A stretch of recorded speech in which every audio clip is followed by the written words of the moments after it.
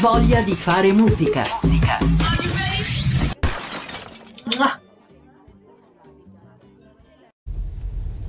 Ciao amici, come state? Eh, lo so, abbiamo fatto un salto temporale e in un attimo abbiamo oltrepassato l'estate e siamo arrivati in autunno. Tempo di castagne e di funghi. No, scherzo, a parte gli scherzi, non per la pioggia perché continua a diluviare anche in questo weekend, ma non siamo in autunno. Rimaniamo in estate. Vi dico la verità. Oggi sarei voluta andare a prendere un po' di sole, visto che sono in montagna, visto che di posti per prendere il sole ce ne sono tanti, ci sono insomma tanti bei fiumi, ma in realtà insomma questa pioggia non, non mi permette ecco di eh, vedere un po' qualche fiume. Quindi invece che armarmi di costume mi sono armata di scarponcini. Eh, gli scarponcini no vabbè devo ancora metterli al piede, ho ancora le scarpe da ginnastica e vi porto in una vallata che io vedo sempre da casa, quindi esco sul balcone, guardo davanti a me e vedo sempre la vallata opposta e vedo questa struttura che è un albergo, eh, il posto si chiama L'Aquila, ma è stata negli anni anche una importante stazione sciistica. Eh, tra poco, insomma, mentre il viaggio devo fare attenzione anche alla pioggia, vi racconto il luogo dove vi porto oggi e anche perché per me è stato importante. Vi dico solo che questo è anche l'inizio, diciamo così, della nostra challenge estiva perché molti di voi insomma mi hanno chiesto ma dai non fai più le challenge? Erano carine abbiamo modo di parlare il cagnolino stai lì? Abbiamo modo di parlare di raccontare insomma di tanti argomenti allora ho detto bon oggi ci siamo. Partiamo con la pioggia partiamo con la challenge estiva e vi spiegherò anche quale sarà il tema o meglio il tema oggi sarà quello del viaggio ma sotto tanti punti di vista. Intanto I'm just a poor boy, though my story's seldom told. I have squandered my resistance for a pocket full of mumbles, such are promises.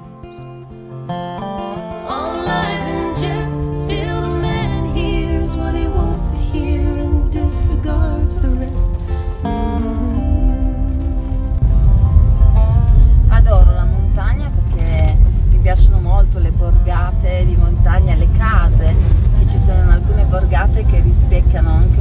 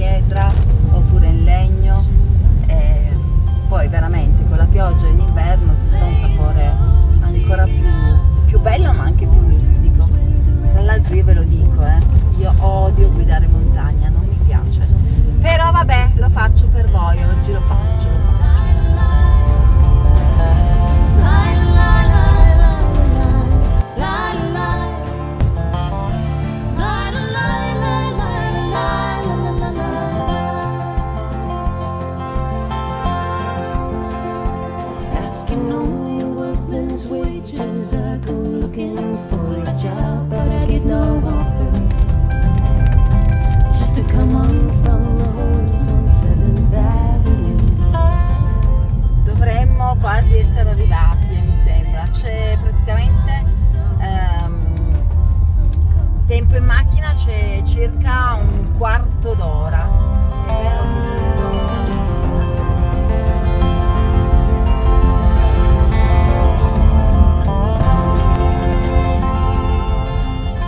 Tra l'altro a chi è amante dei film ricordo la Coppa Cobram con il mitico Fantozzi.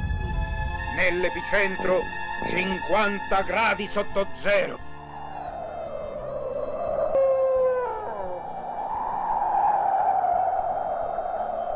Il geometra Belli, che assomigliava stranamente ad un'orata, si perse nella nebbia. Fu venduto a trance in un supermarket rionale. Ah, ok, sono arrivate nel piazzale, credo. Sì, ok, perfetto. È bello farvi vedere questo posto che io me lo ricordavo diverso col sole, però va bene, dai, ci sta. Dove ci mettiamo? Non lo so, ho tanta, ho tanta scelta di posti, quindi... Comunque dicevo, questo è uno dei posti dove eh, quando ero più giovane, ecco mettiamola così, quando ero più giovane eh, venivo qui per prendere il sole, strano ma vero, ma venivo a prendere il sole insieme agli amici. Eh, questo piazzale ci porta appunto ad essere arrivati a questo albergo eh, dove negli anni 70 era veramente ehm, luogo di ritrovo per gli amanti eh, dello sci. Eh, tra l'altro qui c'è anche la casetta davanti con Sci Club Valsangone perché siamo nella Valsangone.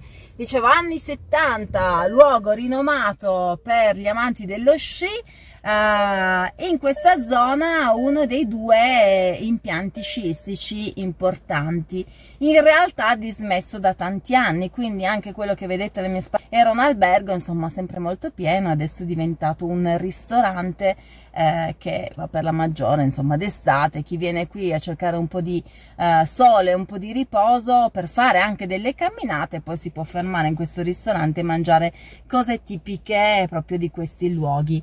Ad esempio in questo periodo ci starebbe bene polenta e cinghiale. Detto questo mi metto gli scarponcini, scendiamo prendendoci la pioggia vi faccio vedere qualcosa in mezzo alla nebbia. Va bene? Ok. Così mi siedo qua e mi cambio le scarpe poi devo prendere dietro. Aiuto. No, solo perché oggi non è che vado a funghi ma con la pioggia che è venuta forse è meglio non uscire con le scarpette bianche nascondo lo zainetto sotto alla felpa così nessuno lo vede e nessuno me lo ruba non si vede vero? non si vede no. Ok. Andiamo.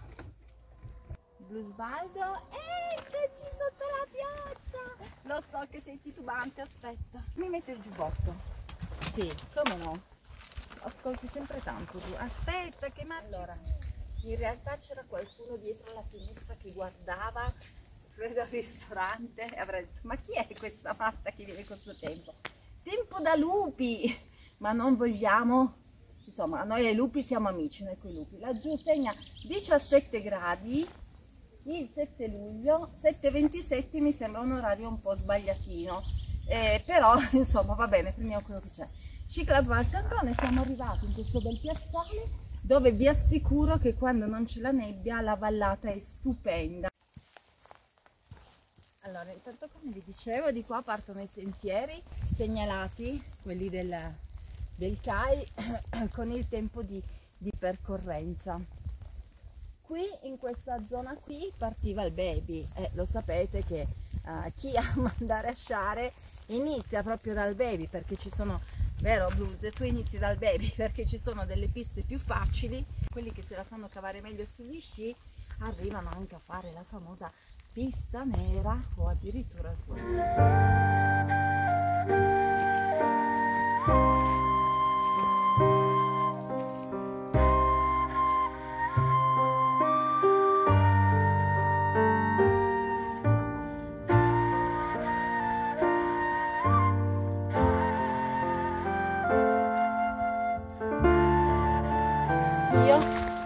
Sono contenta perché ho inventato il naturismo tessile e potrei chiamare la mia associazione Simonita.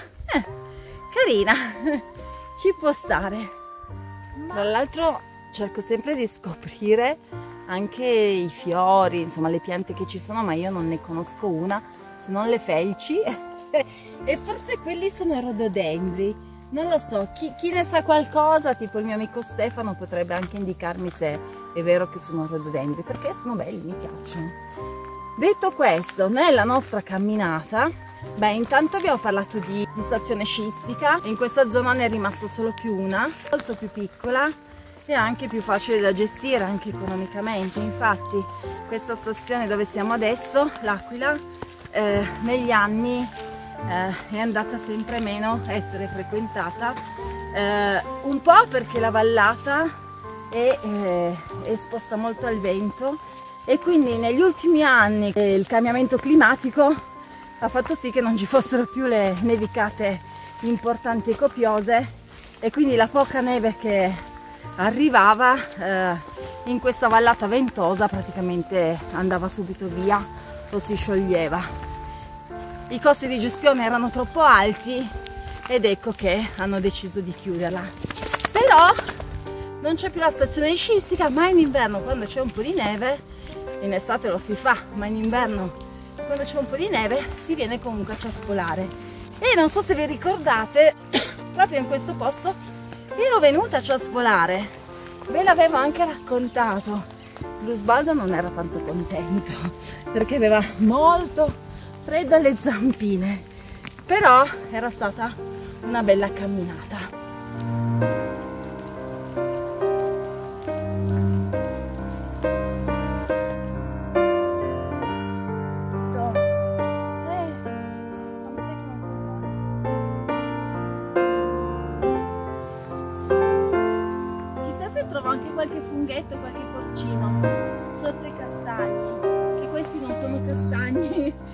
sono betulle che potrebbero tornarmi utile per la, per eh, la sauna. Potrei prendere qualche rametto per la bagna russa. Comunque vi dicevo che sono come i bambini, mi lascio trasportare da tutto quello che vedo intorno. Quindi vi sto dicendo una cosa, poi mi giro, vedo dei funghi enormi, dico wow, mi sento un po' anche come Alice nel Paese delle Meraviglie, quando mangia il fungo magico e si rimpicciolisce. No, vabbè, questa è un'altra storia. Comunque torno a destra, lo so, sono una pasticciona, lo so. E qui era la partenza appunto della seggiovia, quella che portava su praticamente fino a Sant'Aquila. Praticamente tutto in disuso, però possiamo vedere che siamo a 1300 metri di altitudine, perché c'è scritto là. Eh, del, si legge solo più dell'Aquila, partenza a metri 1300. Si arriva a, non lo so, devo guardare quanti, quanti metri è, 1000, 2000, boh, non lo so, devo guardare. Eh, bello interessante, qui c'era credo ci fosse il signore, non posso entrare perché tutto possiamo si vede lo sguardo sei lì? Buongiorno. Sì salve.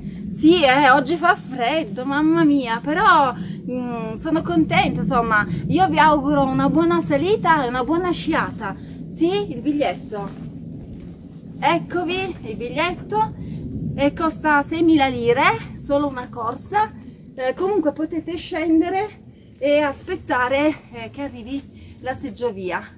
A presto, spero di rivedervi per i prossimi giri e niente, insomma, buona sciata. Salve, salve, avanti il prossimo. Perfetto. La mia agilità della palestra. È interessante, non è proprio una casa disabitata, però è carino anche scoprire la parte di, di seggiovia, però non mi caschi niente in testa. E, e penso che laggiù uh, ci fosse la carrucola che serviva per far arrivare le seggiovie, però mi chiedo come arrivavano per poi tornare su? Mm. Non lo so, questo lo ignoro effettivamente, però ha qualcosa di interessante. Questi sono tutti pezzi di gomma. Questi pezzi di gomma, chissà che cos'erano, penso parte comunque della, della funivia, vabbè, non funivia, della. Se non che non fare niente, se no sono tutte piegate. Ah, ok, ecco. Qui c'erano le carrucole.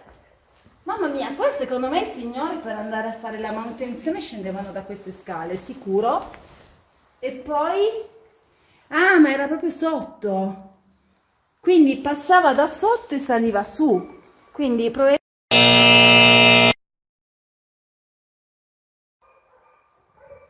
Anzi, in realtà credo, è sicuro così, che queste carrucole erano quelle che tenevano tendevano praticamente, ci sono un po' di cani, non vorrei che venissero a mangiarmi, eh, che tendevano praticamente la fune perché la seggiovia praticamente faceva il giro in questo senso. Vado a vedere perché a me mette l'ansia anche questi cani che poi sanno che io sono entrata qui e fanno la guardia, quindi in teoria non si può entrare. Si dice avviso ai turisti, Qui lavora un pastore con cani da protezione. Il cane difende i suoi animali da predatori intrusi. Fai attenzione, non muovere le pecore, eviterai che intervenga in loro difesa. Ecco, fermati, non correre, mantieni un comportamento calmo e passivo, non gridare, non tirare sassi né minacciare col bastone. Distogli lo sguardo e cammina lentamente, non accarezzare i cani e non dar loro da mangiare. Ecco perché abbaiavano, perché ci sentivano sul loro cammino e quindi volevano difendere i loro animali. Arriva amore!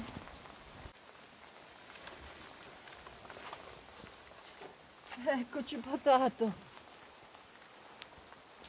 Mm. Qua castagni!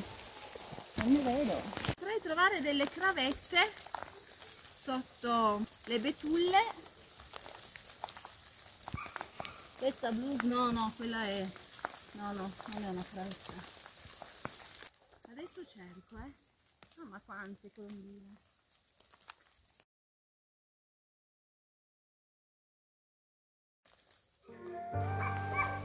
Blu, secondo me li abbiamo fatti arrabbiare noi, non c'era nessuno e senti che casino perché secondo me ti sentono, sentono il tuo profumo di cane. Qui c'è un osso, che osso sarà? Osso di qualche animale?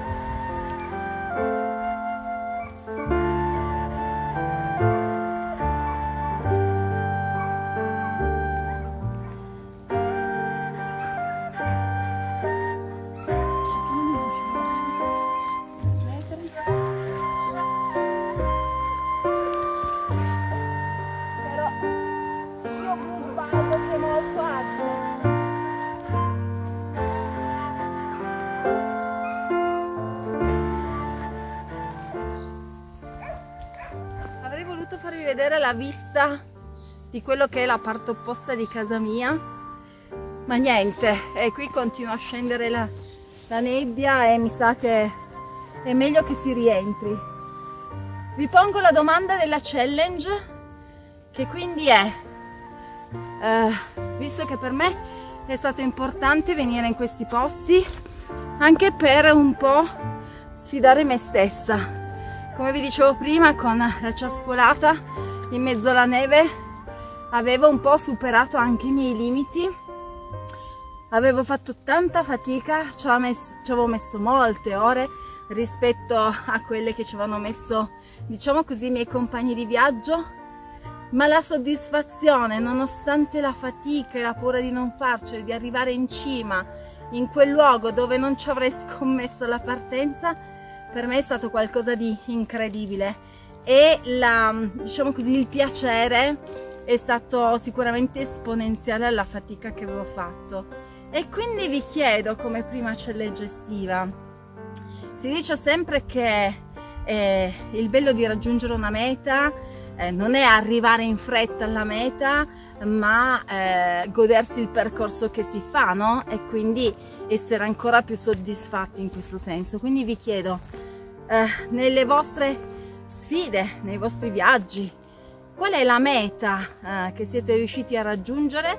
Sicuramente non con poca fatica, ma che, eh, come è successo a me, eh, insomma, è stata veramente gratificante.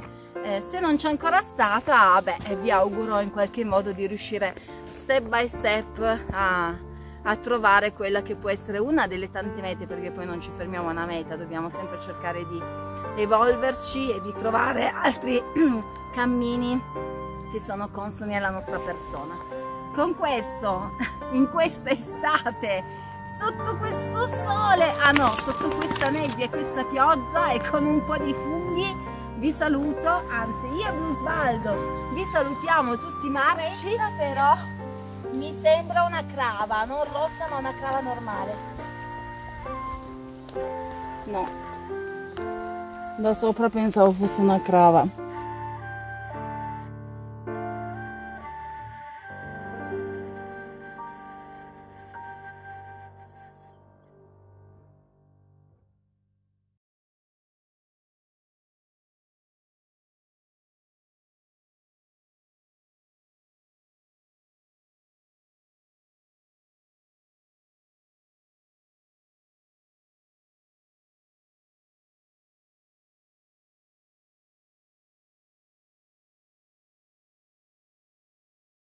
Non è stato un lieto fine.